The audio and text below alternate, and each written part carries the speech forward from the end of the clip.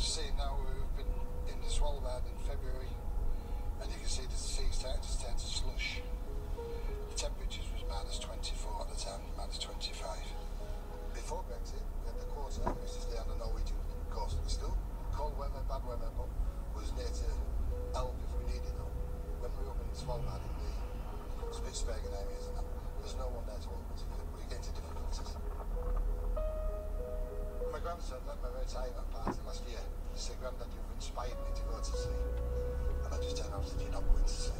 There's no future for. Our fishing industry is over, depleted and gone perpetually. I'm hoping that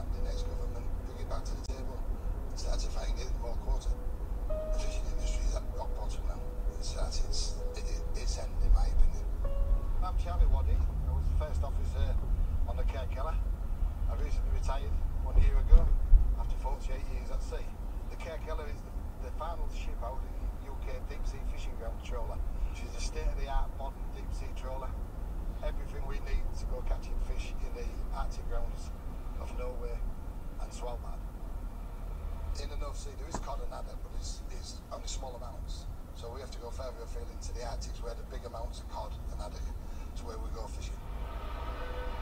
So these trawlers now, with our big super trawlers, we're catching a lot more fish, but we're not catching any other size fish. That is the, the beauty of it.